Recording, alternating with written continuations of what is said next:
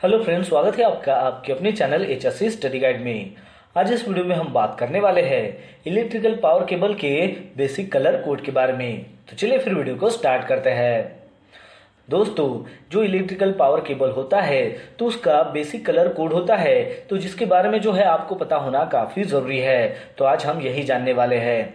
तो जैसे कि हम यहाँ पर देख सकते हो कि फेस कंडक्टर एक लाइन होती है, दूसरी होती है जैसे कि न्यूट्रल कंडक्टर और थर्ड होती है प्रोटेक्टिव कंडक्टर यानी कि अर्थ वाली लाइन तो फेस कंडक्टर की जो लाइन है तो उसमें जो है, कौन सा जो है पावर केबल के लिए जो है कलर कोड इस्तेमाल किया जाता है, वो आपको पता होना चाहिए। तो सबसे पहले हम ये जो फेस कंडक्टर लाइन है तो इसमें सिंगल फेस और थ्री फेस की जो लाइन होती है तो उसका कलर कोड क्या है, वो जानते हैं।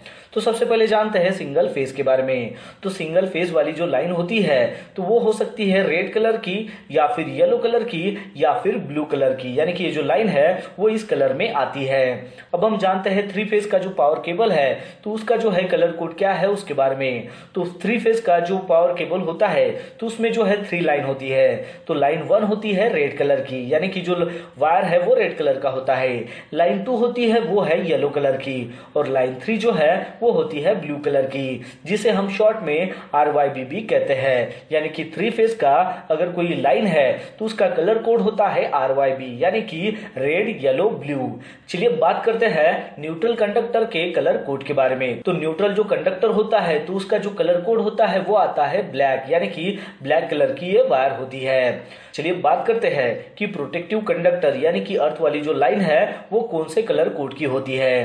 तो ये होती है ग्रीन एंड येलो कलर की, जैसा कि आप यहाँ पर इमेज के माध्यम से जो है वो देख सकते हो। तो इस तरीके से जो है इलेक्ट्रिकल पावर केबल के जो है यहाँ पर बेसिक कलर कोड है, जो आपको पता होना काफ़ी ज़रूरी है।